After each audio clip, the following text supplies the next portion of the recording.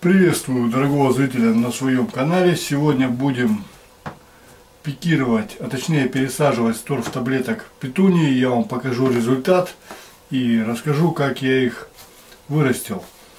Стаканчики буду применять седьмой номер. Вот такие мягкие многоразовые стаканчики. Также подходит номер 6,5 на 6,5. А это восьмой номер, я пикировать буду следом перца. Тоже смотрите, но это будет в другом видеоролике. Итак, петунии. Вот это у меня результаты из черенков. Уже почти месяц им. Я их рассаживал и в восьмой номер, и в шесть с половиной на шесть с половиной отлично подходят стаканчики. Также укоренял в торф в таблетках. Потом про эти петунии я видео посева снимал, но, к сожалению, большому сожалению, самый первый файл я просто, видимо, удалил по неосторожности. Видите, у меня эти уже без колпака стоят, а эти еще будут находиться под колпаком. И посмотрите, вот эти петунии, вот с этой тарочки, я буквально на днях пересадил, и они сразу в грунте тронулись в рост. Заметно разницу, да? Про эти петунии сразу говорю, это из семян, зашли они мне через месяц, посев производил 1 числа 02, то есть 1 февраля. Сегодня 24 марта. Взошли они через месяц. Я даже не надеялся, что зайдут. Я скажу, как их сеял. Даже не надеялся, что зайдут. И просто уже убрал пленку. Крышка здесь была. Убрал крышку пластиковую и отодвинул от солнца. Поближе к батарее получилось. И смотрю, начали проклевываться. Ну, конечно, не все. И про вот это говорю. Вот так у меня была перегородочка.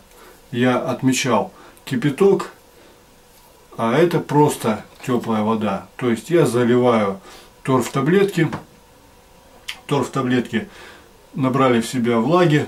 Потом обливал половину кипятком прямо и тут же кидал семя сверху чуть-чуть придавливая, семя были гранулированные, чуть-чуть придавливая пальцем. Ну и, собственно, по самому, по самим сходам видно, что вот эти покрепче. Я с этой кучки, собственно, вот эти и пересаживал. То есть метод был в кипятке. Ну и теперь пересадка. Грунт я применяю универсальный для рассады для цветов. Разный, какой попадется мы не будем смотреть название, но в каждый грунт, в каждый грунт я добавляю вермикулит. Конечно, не строго по инструкции, а на глазок. Вот так. Видно, чтобы он везде-везде прям был. Вот так. Вермикулит нужен нам для дальнейшего удержания влаги и также он разрыхляет почву. Вот. Вот такие попадаются штуки. Сейчас мы применяем седьмой номер 7 на 7. Отличные стаканчики. Вот так. С полстаканчика насыпаю грунт.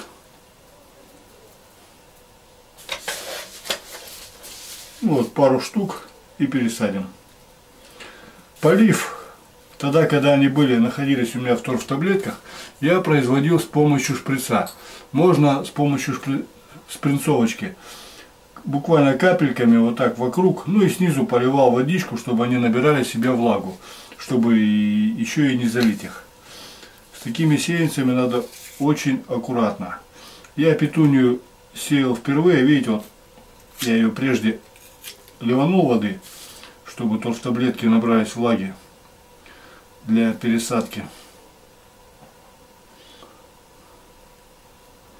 Вот так аккуратно распаковываем.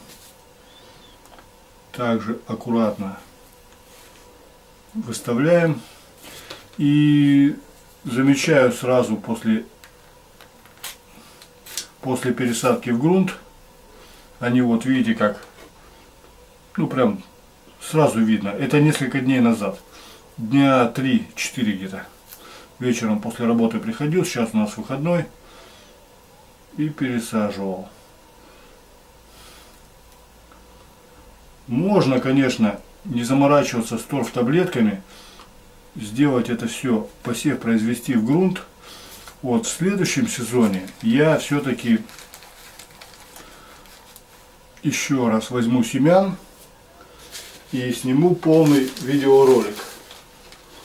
Сейчас я вам показал только результат и пересадку. Ну и какие стаканчики я применяю. Я эти стаканчики применяю для, для всей рассады.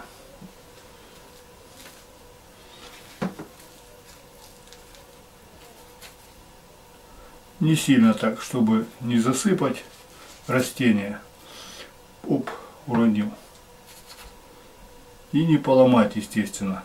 Остальные я сделаю без видео. Что я сделаю дальше? Дальше я их устанавливаю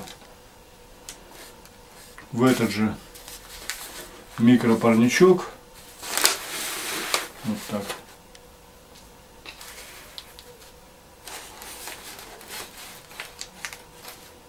Я вам потом буду томаты еще сеять, перцы, у меня там всего еще много. Покажу другие свои емкости, в которых я пересаживаю, чтобы потом удобно было доставлять на дачу.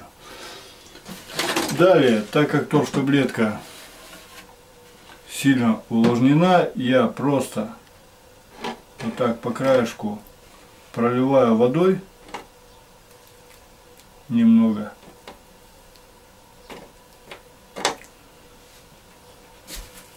Немного поправляем вот так. Грунт осядет сейчас.